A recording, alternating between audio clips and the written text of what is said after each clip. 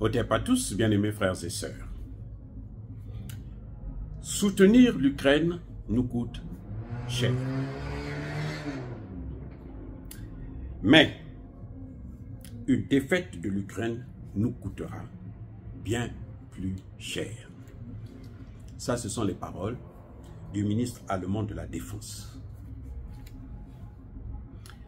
Vous avez vu l'Allemagne qui disait il faut maintenant aller vers la paix. J'ai même parlé de ça dans une de mes vidéos. Vous voyez l'hypocrisie des Occidentaux. Comment ils jouent avec nous. Mais en fait, euh, euh, ce n'est pas que l'Allemagne joue avec nous. Moi, je, crois en la sincérité euh, du chancelier allemand Olaf Scholz, parce que, j'allais dire because, parce que la situation économique de l'Allemagne, elle est terrible.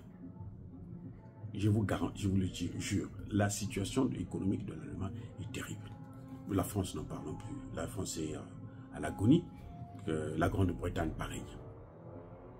Donc le chancelier allemand s'est dit, euh, il se disait, hein, il y a deux jours, il y a une semaine, qu'il euh, vaut mieux aller vers la négociation, vers la paix.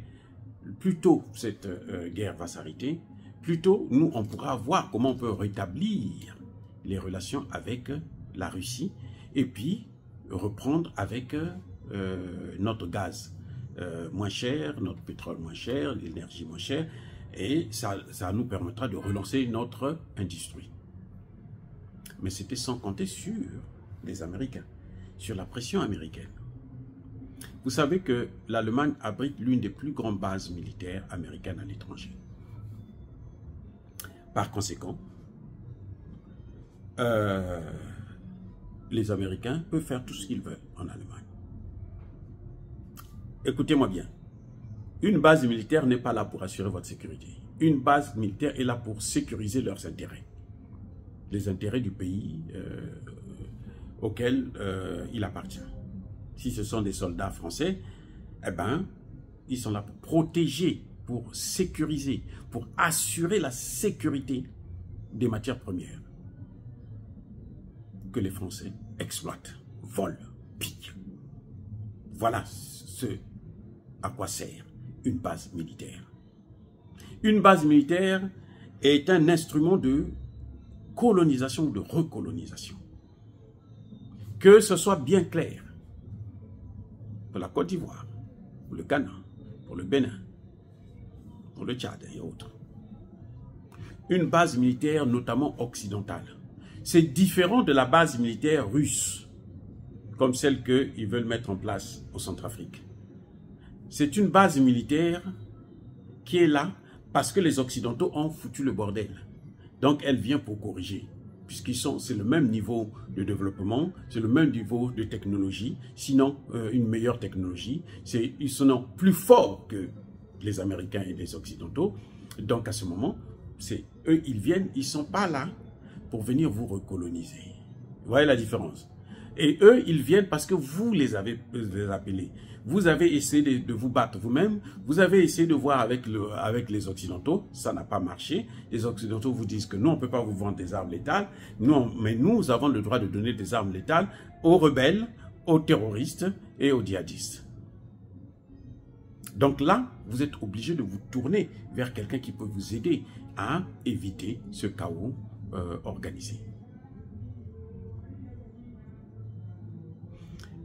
Donc, quand les États-Unis mettent une base militaire, qui est là depuis euh, la Seconde Guerre mondiale, hein, dès que la Seconde Guerre mondiale, ce sont les conséquences justement de la victoire euh, des Alliés. Ça fait, ça fait trop d'années maintenant. 1945, ça fait près de 80 ans. 80 ans. Bon, à ce moment, est-ce que vous croyez que c'est encore euh, valable? Non? Hmm. Donc 79 ans, c'est trop. C'est vieux. Donc ces, bases militaires sont là depuis 45. À ce moment, ce n'est pas des bases militaires comme les bases militaires russes qui viennent maintenant parce que nous sommes en difficulté, parce qu'on a besoin d'un partenaire sérieux, parce qu'on a échoué avec les autres. Donc, moi je comprends la position de Olaf Scholz. Le chancelier allemand a, allemand a vu que son économie est décadente. Et puis d'ailleurs, ils sont en train de perdre les élections au profit de l'extrême droite et de l'extrême gauche. Donc il se dit, pour euh, essayer de limiter les dégâts, ben, je veux relancer mon économie. Mais tu ne peux pas relancer l'économie si tu n'as pas l'énergie. Et l'énergie moins chère, c'est l'énergie des Russes. L'énergie américaine, ça leur coûte 7, 6 fois plus cher. Mais les Américains, ils sont les maîtres du terrain. Donc ils disent, mais attendez, c'est quoi? Vous voulez nous lâcher en plein vol Comme les Français ont fait avec les Maliens? Non, vous restez là. Si on coule, on coule tous. Voilà ce qui est en train de se passer. C'est pour ça que vous voyez le revirement. Le ministre de la Défense venir dire le contraire de ce que le Premier ministre a dit. Parce qu'il y a eu des pressions. Et le, premier, le, chancelier lui-même ne peut pas le dire parce qu'il est, il il est gêné. Tu as dit quelque chose une semaine, et puis tu reviens une semaine après, tu veux changer. Il est gêné. Donc il envoie son ministre de la Défense. Mais pour montrer que c'est le gouvernement qui décide, c'est le gouvernement qui a pris les engagements, il faut accompagner ça avec des faits. C'est pour ça qu'ils envoient des chars, des blindés, des obus, des ceci, de cela. La position allemande a changé sous la pression occidentale. Parce qu'ils disent que nous sommes unis. C'est un mariage, non? C'est jusqu'à la mort. Il faut passer par un juge pour vous accorder le divorce. Et la procédure, ceux qui sont passés par là doivent savoir. Elle peut durer 3 ans, 4 ans, 5 ans. Sinon plus. Ce n'est pas du gâteau, les, gars.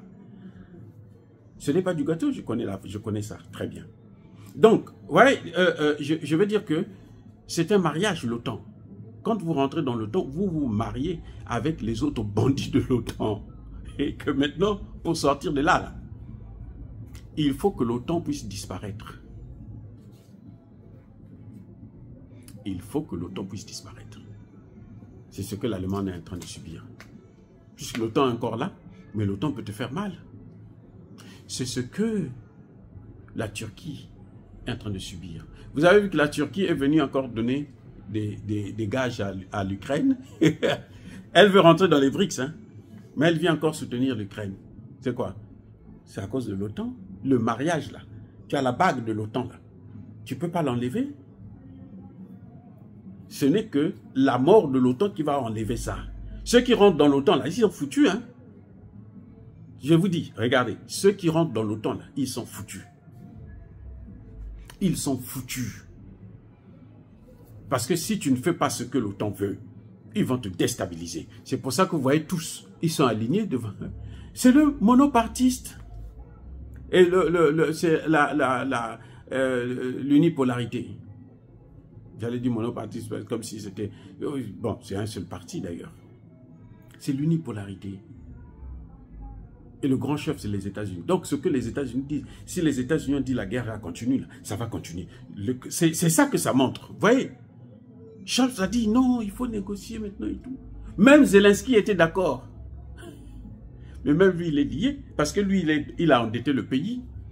Si on lui dit, bon, paye-nous notre argent, remets-nous notre argent. Si tu ne remets pas cet argent-là, nous, on va s'entendre avec les Russes pour, arracher, pour te faire disparaître, faire disparaître tout le pays. Tu vas faire quoi? Zelensky peut faire quoi? C'est pour ça que vous voyez que Zelensky ne sait plus où mettre la tête. Vous voyez comment l'OTAN avale ses, alliés, ses membres. L'OTAN avale ses membres. La Turquie a été obligée d'aller voir l'Ukraine. Quand elle a posé sa candidature officiellement au BRICS, elle est allée voir Zelensky le, le, gars Erdogan est allé délirer là-bas. Je dis bien délirer. Il est allé délirer. Et il a donné encore des armes et tout. Et pourtant, on sait que, Erdogan est mieux dans les BRICS que dans l'OTAN. Mais il ne peut pas faire autrement. Il a, il a déjà pris un engagement. Et avec eux là, c'est à vie. Ou bien vous mourrez tous ensemble. Personne ne doit sortir. C'est le problème que l'Allemagne a actuellement. La population ne veut plus de la guerre. Cette guerre est impopulaire en Europe. Elle est impopulaire. On a beau manipuler les médias, ils ont beau faire ce qu'ils veulent, les gens savent que la guerre, là, c'est pas bon. Ça va nous causer beaucoup de problèmes. Mais comme vous êtes dans l'OTAN, si tu ne fais pas ce que l'OTAN veut, eh ben, on va s'attaquer à toi. Vous voyez Emmanuel Macron, pourquoi il est en train de violer la Constitution? Mais c'est à cause de l'OTAN. Parce que comment respecter les, engagements de l'OTAN si tu ne violes pas la Constitution, ta Constitution Si tu laisses la Mélenchon venir comme Premier ministre, quelque chose de ce genre, mais tu es foutu. Même si ne va pas sortir de l'OTAN, mais l'OTAN ne pourra pas faire ce qu'ils sont en train de faire actuellement. Ils ont des gens qu'ils ont choisis, qui ont été préparés, traités. Donc c'est cela qu'on utilise. Les amis, c'est même Marie Le Pen elle est dans le, dedans. Vous entendez encore Marine Le Pen critiquer l'Europe? Non, on va sortir de l'Europe. Elle, ne peut même plus dire ça. Vous voyez Van der Leyen?